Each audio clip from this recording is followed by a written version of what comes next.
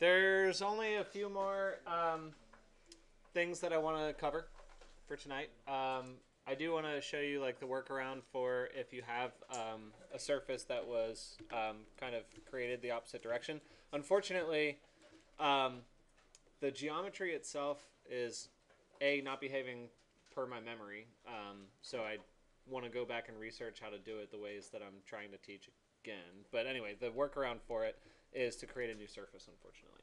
So if you're creating a surface that is, um, you know, extruding the opposite direction, recreate it and, and actually draw a surface that's going counterclockwise. So you would go from here to there, to there, to there.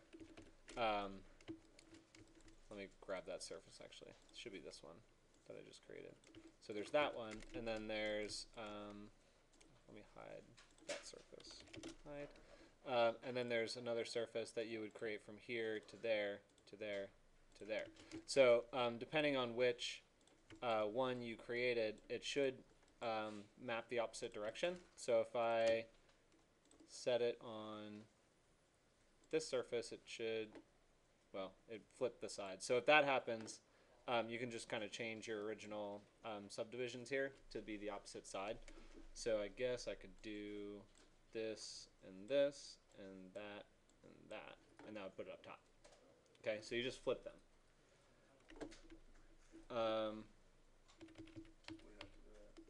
oops. And then uh, let's see, the other one I created the opposite direction, which is that, and now it's going the the back side. So you'd have to just depending on how you create your surface, you could encounter any one of these conditions. Like it could have turned out exactly the way I did it, or it's sideways, um, or it's forward, or it's backwards. So um, just be aware of that, and just know that anytime that happens, just make sure you're flipping your U's and V's so that it matches. Um, and then if you're positive or negative, um, theoretically, you could just change your amplitude to be um, a negative number. So you could just go there to there, but sometimes I like to avoid doing that wherever possible if I know how to, or if I have the energy not to be lazy. So, anyway, um, that's uh, that's kind of generally it in terms of flipping your normal and finding the right surface. So show, put that back here on that. What's that? Um, it so I that was the part that is is not behaving the way I thought it would. Um, and I, I swear you used to be able to do this, but I need to go back and research it, research it again because if you just flip it, it doesn't seem to change it. I thought it could, and I think there are ways of doing that either here or in uh, in Grasshopper, but neither way is doing it now, and I just need to go back and refresh And when my you memory. say flip it, you mean like rotate it? No, no, like literally, like flipping the surface so that the positive side. Um, are you familiar with analyze direction? No. So every surface has a direction. When you click on this button, says analyze direction. So the positive side of this surface is facing the opposite way, but the geometry is still extruding this way when it's positive. And I believe it's because when you create the geometry, that is the geometry that gets referenced. Um, so even if you create it and then flip it, um, the like you've already you've already done an operation on it, and when you reference it into Grasshopper, it always goes back to the original surface when it references.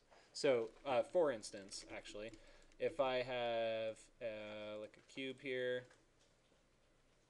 and I hope I'm not shooting myself in the foot with this, but I think this is how it works. Um, something like this, and it is intersecting with this. Yeah, okay. This. Whoops.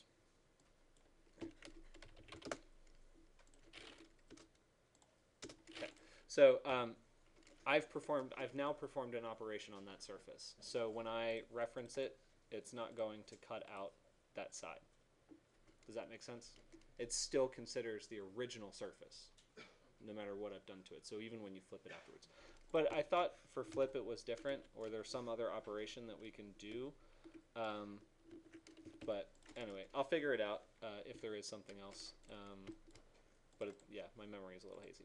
Anyway, any other questions? Okay, so um, let me just close the thought on this one uh, with this video, and then we're gonna move into like patternizing this thing.